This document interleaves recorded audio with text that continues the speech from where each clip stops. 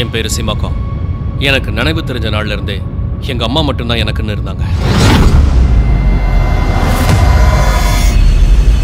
சில வருஷத்துக்கு முன்னாடி ப்ரொஃபஸர் சென்வேக்கு பணம் கொடுத்தேன் நம்பர் செவன்டி எயிட் எக்ஸ்பெடிஷனை செட் பண்ண சொல்லி. எனக்கு அப்பா இல்ல.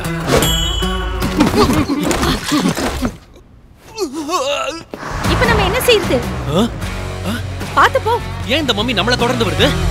அத தொடாதீங்க. நான் சிமாஹுல் நான் உன்னோட அப்பா. இருக்கவே முடியாது.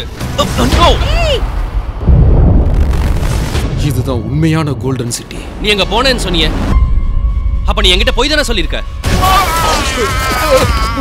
அந்த சிட்டிக்கு போற வழியை நீ சொன்னாதான் லிசாவோட மாத்து மருந்து உன் கைக்கு கிடைக்கும். நான் செத்தாலும் இதை சொல்லுவேன். அந்த கோல்டன் சிட்டிக்காக நீங்க செய்யற இந்த கெட்ட வேலைகளை நான் அனுமதிக்க மாட்டேன். பாதாளத்துக்கு சாவியா? வாங்க போலாம். அப்ப இருந்த ராஜாக்கள் அமானுஷ உலகத்து மேல ரொம்பவே நம்பிக்கையை வச்சிருந்தாங்க. ஜாக்கிரதை! நான் தான் சொன்னேன்ல இவன் ஒரு புழுகு முட்டைன்னு. உன் முகமூடியை கிழிக்காம விட மாட்டேன் ஒரு பொண்ணு மனசை புரிஞ்சுக்கிட்டு அவ கூட வாழ்றது தான் நல்லது. உங்க அம்மாவும் நானும் ரொம்ப ஒத்துமையா இருக்கும்.